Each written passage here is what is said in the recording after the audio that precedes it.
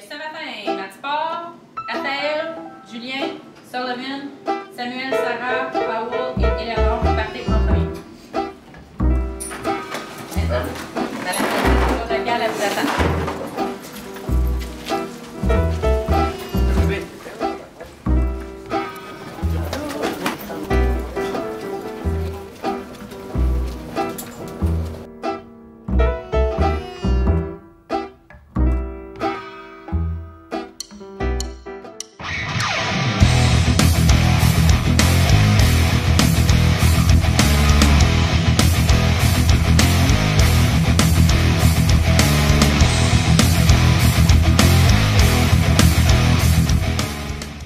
M'appelle Lisa Chatillon, je suis enseignante à l'école secondaire Montbleu.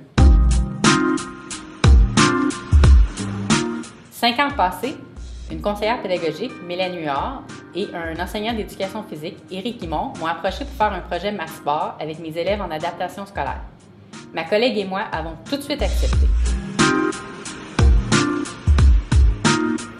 Euh, en début d'année, c'est toujours plus difficile. Les élèves sont moins réceptifs, ils comprennent pas trop l'objectif du projet. Mais au fur et à mesure que l'année avance, les élèves progressent, euh, sont plus positifs, puis ils progressent aussi au niveau de l'activité physique.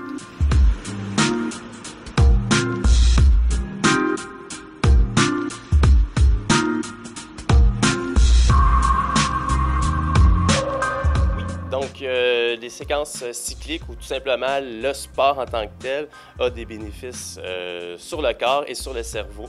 Donc, il y a des études qui prouvent qu'une activité physique euh, modérée à ou intensif d'une durée d'au moins 20 minutes a des répercussions euh, euh, pour l'apprentissage de la- de l'enfant ou de l'adulte. On a dû trouver un local dans l'école qu'on devait aménager pour pouvoir faire des périodes de 30 minutes d'éducation physique avant les apprentissages en classe. Donc, ma collègue venait chercher la première moitié. Je pouvais diviser mes élèves euh, selon leur capacité, se- selon leurs forces et leurs faiblesses, dépendamment de la matière qu'on voit. Donc, les élèves qui reviennent la première vague reçoivent des nouveaux apprentissages et sont prêts à recevoir la nouvelle information, les nouvelles stratégies euh, en résolution de problèmes aussi, par exemple, en mathématiques. Euh, tu vas en classe avec tes affaires, des hauts, bouteilles d'eau, chandail. Et après, il y a un prof qui va venir te voir pour dire de venir. Ils te choisissent pour savoir ce qui va aller pour la première vague. Et tu vas, tu au vestiaire pour te changer et tu fais le programme qui est demandé. Tu retournes en classe et c'est la deuxième vague qui va être là et tu, et tu vas être mieux concentré.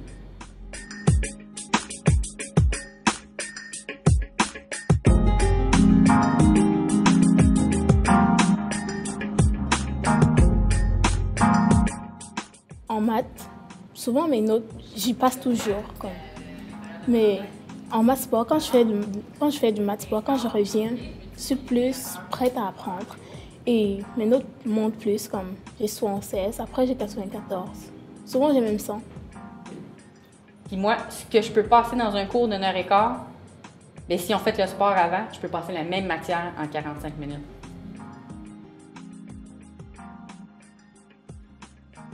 Sais, comme je m'ai tout dépensé, puis mes muscles, tu sais, ils, ils sécrètent de l'endorphine. L'endorphine.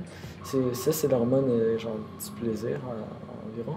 Puis là, c'est comme, vu que ça, ça, ça me fait ça, ben quand j'arrive en classe, je suis comme hyper comme, comme relax, puis je suis capable de comme tout me concentrer.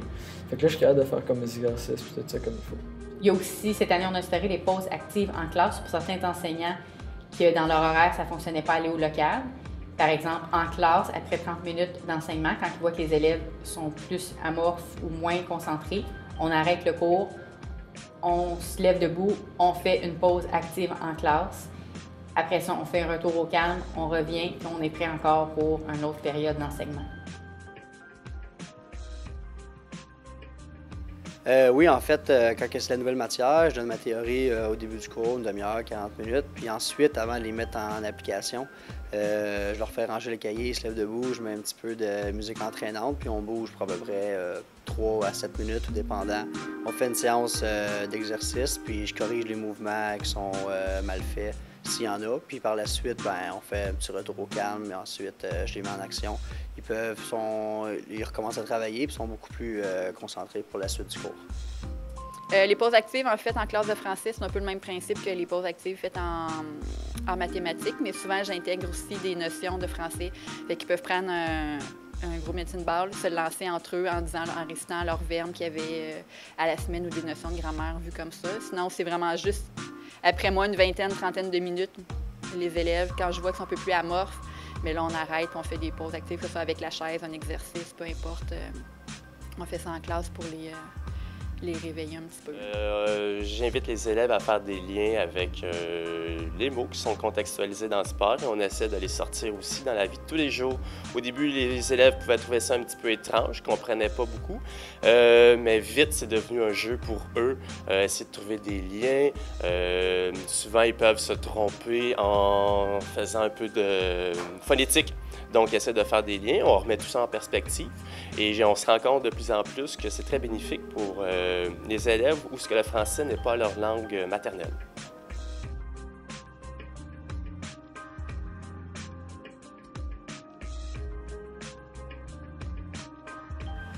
Euh, ben là, on a vraiment beaucoup de besoins. On a besoin d'un local. C'est plus le local est grand, plus on peut accueillir d'élèves avec le local. Mais là, évidemment, ce local-là, il doit avoir de l'équipement approprié pour les élèves.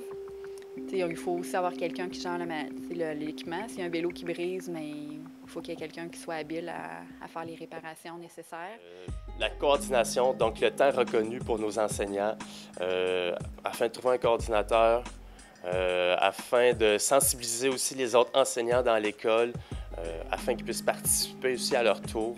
Donc, euh, accepter que les élèves soient sortis de leur classe et tout ça. Donc, ça prend beaucoup, beaucoup de temps, ça prend aussi une gestion. Donc, ces défis-là sont quand même considérables euh, pour, le bon déroulement d'un projet. Moi, je me disais que je ne vais même pas le faire. Alors, maintenant, au final, quand je l'ai fait, j'ai vu que ça rapportait.